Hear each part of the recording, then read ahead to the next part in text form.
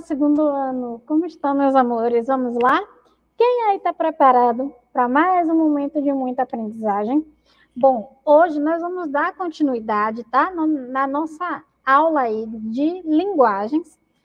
Bom, nós vamos falar aí sobre o tema, né? Textos jornalísticos, suportes e mídias audiovisuais. Então, nós vamos dar continuidade é, ao tema que nós vemos, nós estamos trabalhando aí, né? Há algumas aulas que é sobre os textos jornalísticos, tá bom? Então, vamos lá? Olha só, é, o que são, então, textos jornalísticos audiovisuais, certo? Quando nós falamos aí do termo audiovisual, quando falamos aí audiovisual, nós temos aí duas palavrinhas, na é verdade, áudio, áudio que vai vir de ouvir, certo? Quando a gente fala assim, ó, é, por exemplo, a gente está lá mandando uma mensagem para alguém no WhatsApp, que a gente fala assim, vou mandar um áudio. O áudio é uma mensagem de voz, certo? E aí a gente vai gravar, vai falar e a pessoa vai ouvir o que a gente está falando. Então, quando a gente fala aí de audiovisual, essa palavrinha aí, áudio, se refere aí a ouvir alguma coisa, né? E visual é o que nós estamos vendo. Então, audiovisual vai ser aquele texto que, ao mesmo tempo que nós estamos vendo, certo? Nós também estamos ouvindo, tá? Então, esse tipo de texto jornalístico é o texto que nós encontramos aí, ó, na televisão, tá? Ou pro, na rádio não? Não, porque na rádio nós não vemos, na rádio nós só ouvimos. Então, aí já vai ser um texto é, em forma de áudio, tá bom? Mas quando falamos audiovisual, nós estamos falando do texto que nós ouvimos e também vemos, tá? É o texto aí é, jornalístico que a gente encontra na televisão, tá bom? Então, recordando sobre é, os textos jornalísticos, segundo ano, a informação é a base desse gênero, tá? Então, nós lemos esse tipo, esse tipo de texto para quê? Para ficar informado, tá? E aí você pode me falar assim, Pro, mas quando a gente abre o jornal, a gente encontra outros tipos de texto além da notícia, inclusive até mesmo texto, textos ali de entretenimento, certo? Como, por exemplo, é, as palavras cruzadas, né? Ela tá, tem uma função ali de entreter, mas ela não está trazendo uma informação sobre um fato, certo? Mas quando a gente fala, tá, da notícia em si, sobre os fatos, tá? A gente não está falando somente do texto jornalístico ali do jornal impresso. A gente não encontra a notícia somente no jornal impresso. A gente encontra a notícia aí em outros meios, tá? Na televisão, na rádio, na internet, tá? Nas próprias redes sociais, nós encontramos aí várias notícias, certo? Então, quando a gente fala de notícia, a gente sabe que a informação é a base, né, da notícia. Então, a gente lê a notícia, a gente ouve a notícia, a gente assiste a notícia, porque a gente quer ficar informado sobre algo, certo? É a mesma coisa, né? Quantas vezes, é, por exemplo, nós passamos aí por momentos onde as escolas não puderam abrir por conta da pandemia, né? Hoje a gente já teve um retorno aí híbrido, mas antes nós não estávamos, né, tendo aulas presenciais aí, a gente não podia ir para a escola mesmo assistir aula, porque é, os casos, né, da pandemia estavam aí ainda sendo controlados aqui na cidade. É, então, muitas vezes a gente é, procurava informações, né? É, com as pessoas aí, sim, vai ter aula, vai poder abrir escola, e muitas vezes as pessoas falavam, ó, oh, assiste lá na TV para você ficar informado, não é assim? Assiste, assiste na TV, quem tiver acesso à internet, vai olhando na internet. Então, são as maneiras aí da gente ficar informado, né, sobre algo. Nesse caso era sobre aí um possível retorno das aulas naquela época, tá bom? Bom, é, quando a gente fala aí de notícia, é, é, ela precisa ser formal, né? Ou seja, a gente precisa utilizar uma linguagem mais formal, certo? é, objetiva, tá? É, então, quando a gente fala formal, a gente tem que evitar o uso de gírias, a não ser que a gente é, já esteja ali né, em um espaço que pode ser um blog, que pode ser é, um jornal mesmo que já use esse tipo né, de linguagem mais informal. Então, por exemplo, a gente tem é, uns plantões que passam é, na Globo, né, que tem uma linguagem até mais informal, onde jornalistas né, é, utilizam aí até é, uma linguagem mais, né, mais jovem, para se aproximar dos jovens. No entanto, é, ela não deixa aí de ser uma linguagem respeitosa, tá? Evitando aí o uso de gírias, tá bom? É, a notícia também precisa ser objetiva, então eu vou me ater aos fatos, o que foi que aconteceu. Lembra que a Pro até falou sobre a lead, né? Que tem as perguntas aí que vão é, ser respondidas ali dentro daquela entrevista. Então, a entrevista é toda escrita é, em cima da lead, como, onde, quando, por quê, quem, tá? E aí ela precisa ser o mais objetiva possível, é, descrevendo aí o que aconteceu, respondendo a essas perguntas de maneira objetiva. Impessoal, tá? Ou seja, quando eu dou a notícia, é, eu que sou a pessoa que escrevi, principalmente quando eu estou falando aí de uma notícia opinativa, não é? Não é uma notícia é, perdão, uma notícia noticiosa. Nós temos as opinativas e a noticiosa. Então, quando a gente está falando das notícias, né, noticiosas, eu preciso usar uma linguagem bem impessoal, ou seja, não deixar é, que a minha opinião apareça ali para o público, porque quando eu estou falando né, de algo noticioso, eu não estou querendo influenciar, eu não estou querendo formar a opinião de ninguém, eu estou querendo somente falar sobre algo que aconteceu, tá? Diferente aí de quando é uma, uma notícia mais opinativa. Nós vimos que existe também a notícia opinativa, que é aquela onde a pessoa que está ali falando está é, tá fazendo uma crítica sobre algo para que as pessoas comecem a refletir. Essa daí já é mais pessoal. E imparcial. que é imparcial, pro, é quando né, é, a pessoa que está lendo ela não vai é, ficar do lado de ninguém ali dentro da notícia, principalmente quando é uma notícia que envolve ali várias pessoas, às vezes é uma situação de conflito, então eu não vou é, ficar do lado de ninguém, achar que uma pessoa está né, tá certa ou está errada ali quando eu estiver falando com a pessoa que está me assistindo, certo? Apesar de eu ter a minha opinião, mas eu não tento né, mostrar isso ali para a pessoa. E aí o que a Pro falou, né? Que esses textos podem ser opinativos ou noticiosos. Opinativo é quando é a pessoa que está ali lendo, né? escrevendo, ela tenta mostrar, passar a opinião dela, tenta é, é, fazer a pessoa que está assistindo refletir em cima do que ela acredita, né? Que seja ali o melhor.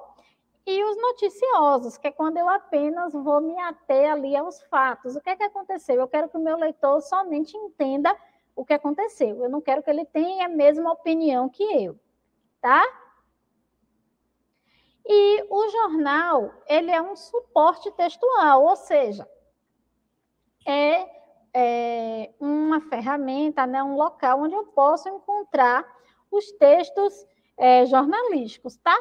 Mas eu não encontro texto jornalístico somente nos jornais ali impressos.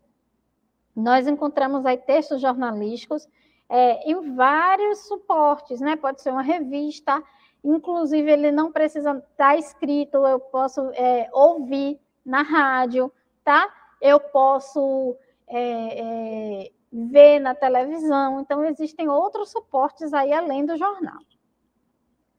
Bom, e aí agora, olha aqui, a gente tem é, quais são as diferenças quando eu falo de texto jornalístico impresso e de texto jornalístico audiovisual, que é o tema da nossa aula de hoje, tá? Bom, os textos jornalísticos impressos, é, nós vamos fazer a leitura dele, tá? Então, a gente vai, se a gente vai fazer a leitura, a gente entende que ele está escrito, tá? Pode ser aí um jornal, pode ser aí em uma revista, tá bom? É, ele foi escrito por uma pessoa que é o escritor, tá? Alguém escreveu aí, e aí provavelmente né, é, um, é um jornalista, uma pessoa que atua nessa área, que investigou ali né, essa notícia, que foi é, atrás, às vezes um, algum fato que aconteceu, ela foi até o local, ela entrevistou algumas pessoas para poder escrever aquele texto, tá? E nós temos aí também o leitor. Esses são os personagens aí do texto jornalístico impresso, né? Que vem aí da leitura. O leitor é a pessoa que vai ler aquela notícia, tá bom? Mas quando nós falamos de textos jornalísticos audiovisuais, ao invés da leitura aqui do material impresso, nós temos, olha só, a TV, a televisão, tá? E aí, ao invés da leitura, nós vamos ter ó, a fala, tá? Então, a pessoa ali vai estar falando, tá? E nós, do lado de cá, vamos estar assistindo e ouvindo. Bom, esses, essas notícias, elas são apresentadas pelo âncora, o jornalista ali que é o âncora, que é a pessoa que apresenta o jornal, certo? E nós temos o repórter, que é a pessoa que vai para a rua para poder investigar aí essas notícias, tá bom? Então, por exemplo, nós temos aqui em Feira de Santana a TV Subaé, que tem aí o jornal, né, meio-dia, que é o Bahia Meio Dia, tem um BATV. Então, por exemplo, no o Bahia Meio Dia, quem apresenta é o âncora, que é Adilson Muritiba, certo? Então, ele é o âncora, que é a pessoa que fica ali no estúdio apresentando aquela notícia.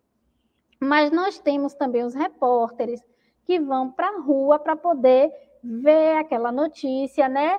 E é, mostrar para a gente, tá? Então, nós temos alguns exemplos aí. Madalena Braga, Bruno Evangelho, é, nós temos aí vários repórteres, né? É, é, Patrícia Laís, então nós temos vários repórteres, que são as pessoas que não vão ficar no estúdio apresentando o programa, tá? Vai para a rua para poder é, ver o que foi que aconteceu, qual é a notícia, o que foi que aconteceu, foi como, foi com quem, quem se envolveu aqui nesse fato e passar para a gente, tá bom?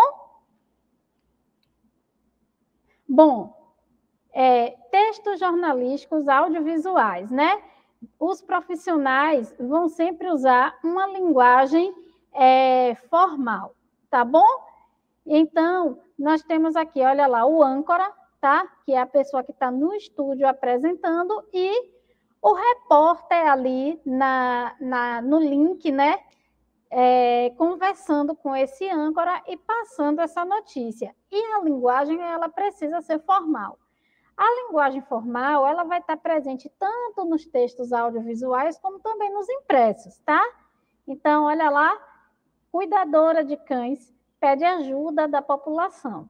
Então, é, é uma linguagem ali bem formal, bem respeitosa, tá? Sem a presença ali das gírias, certo? A não ser, como a Pro falou, que já seja mesmo um espaço que é destinado aí para um público aí mais jovem, mais teen, né? Que a gente chama, que usa mesmo as gírias. Por exemplo, nós temos canais, é, inclusive no YouTube, que são destinados aí, que tem notícia aí para criança, para adolescente, que tem uma linguagem mais infantil, que tem uma linguagem mais jovem, né? Mas, em geral, aí, quando a gente fala de televisão, é, a gente tem mesmo aí a, pres a presença de uma linguagem mais formal, tá? Os profissionais aí é, que trabalham na televisão, eles precisam transmitir a notícia sem emitir a sua opinião. Por isso, existe o cuidado na entonação, nas expressões faciais e nos movimentos, tá? Então, por exemplo, é, a gente está aqui falando de uma notícia onde eu não quero dar minha opinião sobre essa notícia. Então, eu tenho que ter cuidado ali com a entonação da minha voz, com as minhas expressões, que muitas vezes eu estou aqui falando e eu posso fazer uma expressão aqui como que não concordei, certo, com aquilo, ou que concordei com aquilo, e também nos meus movimentos, tá?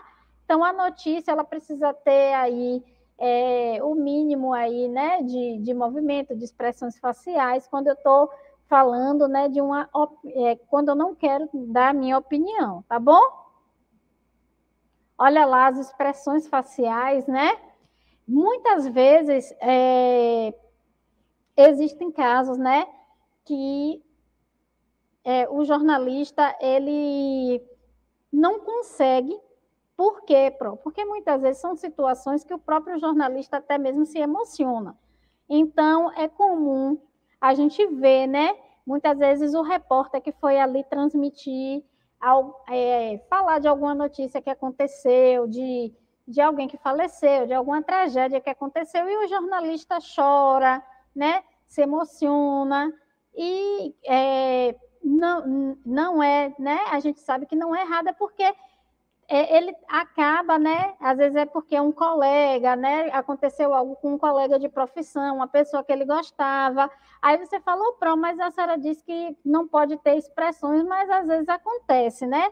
São, são casos assim que, que acontece mesmo, mas de maneira geral, quando a gente está falando de notícia, o jornalista evita, né? É, esses tipos, é, expressão facial, certo? E o movimento, ó, quando é uma conversa espontânea, evitar é, é, tem movimentos, né? Como a Pro conversa aqui, ó, porque a Pro está conversando aqui com vocês, então a Pro faz vários movimentos aqui. Mas a notícia ela é mais formal, geralmente os jornalistas, né? Eles aparecem assim, observa no Jornal Nacional, mais sentados, evita né, o, é, o uso ó, das mãos, como a Pro está fazendo aqui, certo? Ao transmitir uma notícia, né, é, deve-se passar informação limpa, sem interferência da sua opinião, ou seja, ela deve ser ó, imparcial. Então, logo mais à noite, São Paulo e Palmeiras disputam vaga na final do Brasileirão. E aí, ele fala aqui embaixo, ó, eu espero que o Palmeiras ganhe, pois é o meu time preferido. E aí, a Pro até colocou ali, ó, de vermelho, porque Pro quando eu falo aqui, eu espero que o Palmeiras ganhe. Então, aqui, é, ele não está sendo imparcial quando ele fala isso, porque ele mostra, né, é, que ele está ali do lado do Palmeiras. Ele quer que o Palmeiras ganhe. Aí vem aquela questão, o Pro, por que ele falou assim?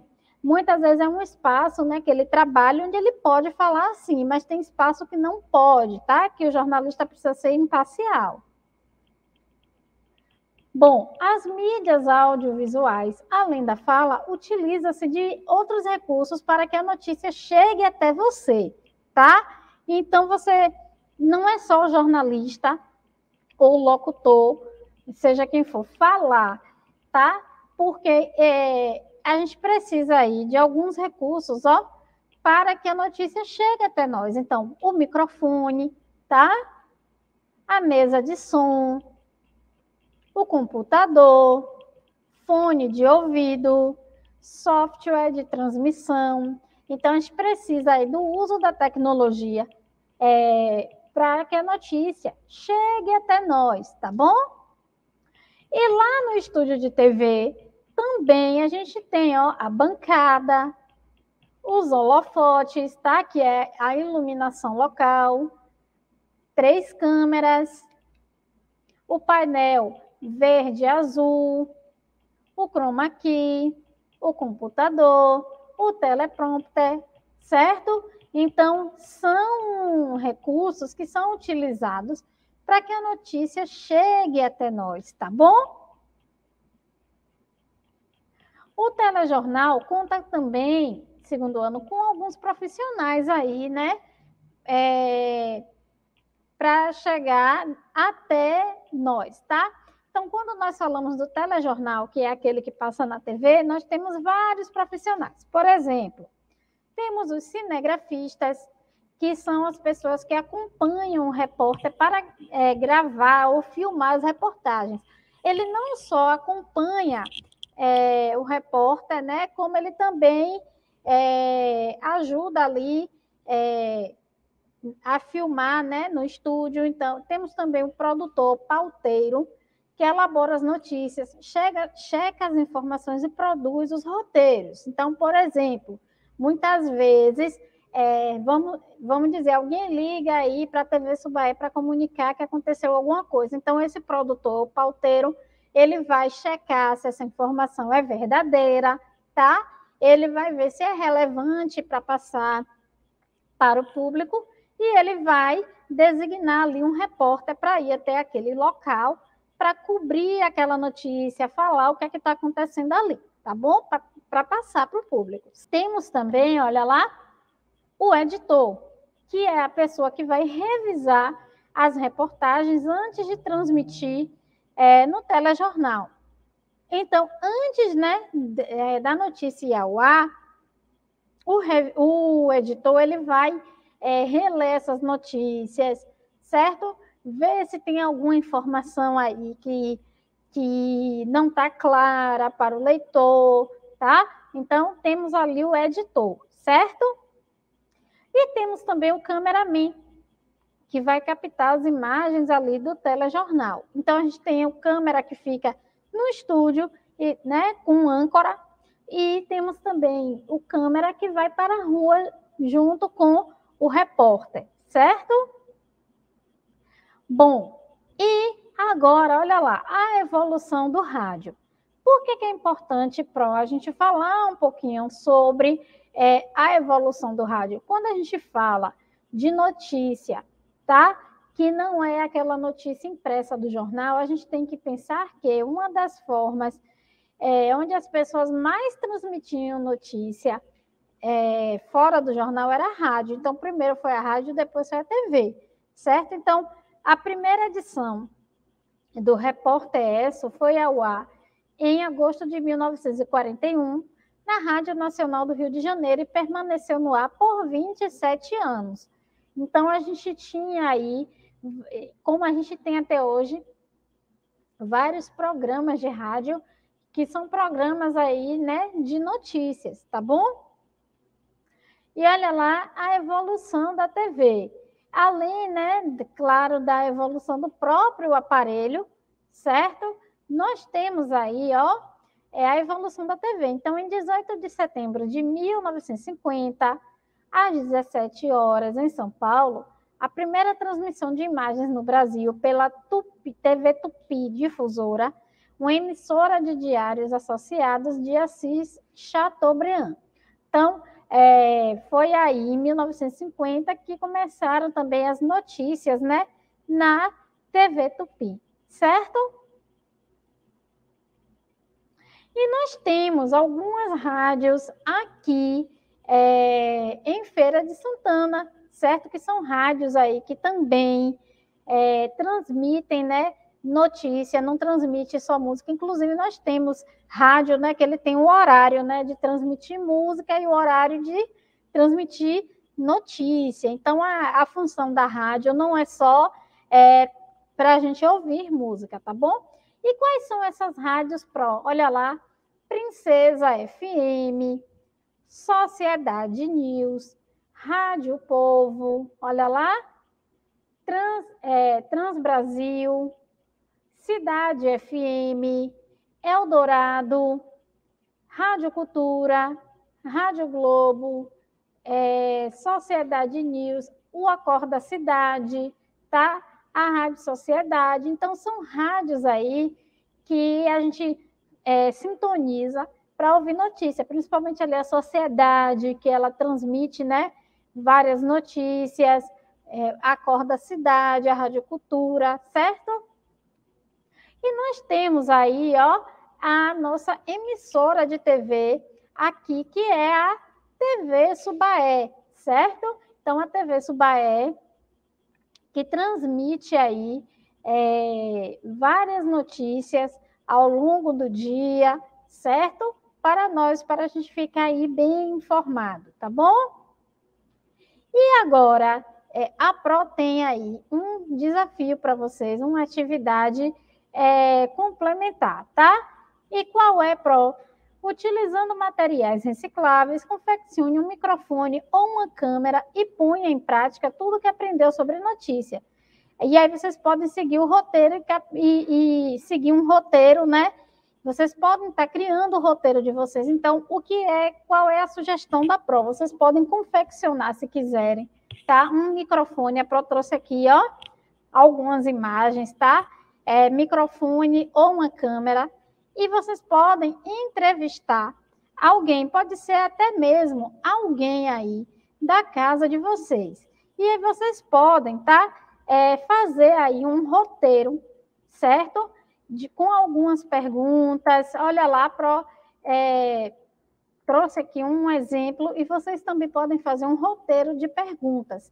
E aí vocês podem entrevistar alguém. Então, por exemplo, você pode entrevistar sua avó, seu avô, sua mãe. E aí você pode é, pensar, por exemplo, eu vou perguntar à minha mãe como era que ela vivia quando ela era criança, é, do que, é que ela brincava, certo? O que era que ela gostava de fazer, para onde ela costumava viajar com a família dela, como era a escola que ela estudava. E aí vocês podem, ó, montar o programa de vocês, tá? Na internet, vocês acham aí alguns vídeos ensinando, se vocês quiserem fazer, a fazer aí o microfone e as câmeras, tá bom? E aqui o nosso roteiro, ó, você pode pensar em um nome para o seu programa de rádio ou de TV, então você vai decidir aí se você quer um, é, pensar em um programa de rádio ou de TV, decida o fato que noticiará e crie um roteiro da notícia, então lembre da estrutura da, do texto, lembrar da lead, ver a questão do cenário e do figurino, definir também a equipe, tá? Quem apresenta e quem vai ficar no apoio, se vai ter entrevista, tá? E se vocês é, quiserem também, vocês podem é, pedir ao papai e à mamãe para filmar aí, postar no Instagram e marcar a Secretaria de Educação para a gente ver, certo? É, como foi que ficou o programa de vocês. Então, vocês podem estar criando um cenário, ó, como um exemplo aqui atrás, colocar aí o nome do programa de vocês, tá bom? É, ver a questão do figurino, lembrar que o jornalista, é, principalmente na TV, ali ele usa, né, uma roupa ali mais, mais fechadinha, né, como a Pro tá aqui, é, ver, ter cuidado com a questão das opiniões, como é que eu vou transmitir Pro é, a minha opinião, tá? ver o que é que você vai noticiar, criar um roteiro, tá bom? É, lembrando de responder ali é, as perguntas da lead. Lembra o que a Pro falou? Então, responder as perguntas da lead, tá? Quem, que, como, onde. Fazer a entrevista, certo?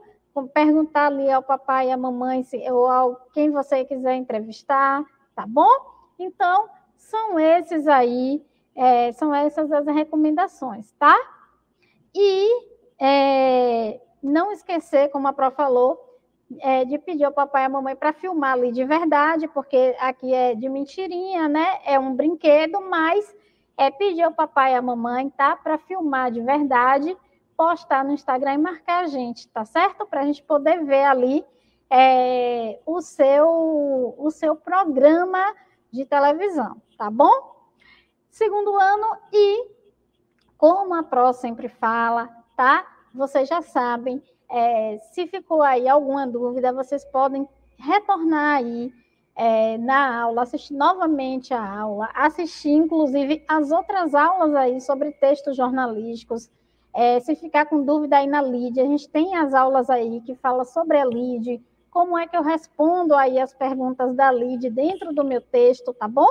E também pode, né, anotar essas dúvidas para tirar com seu professor aí na escola e trocar ideias com seus coleguinhas, certo? Segundo ano, mais uma vez foi um prazer estar aqui com vocês, tá bom? Um beijo, até a próxima aula. Tchau, tchau.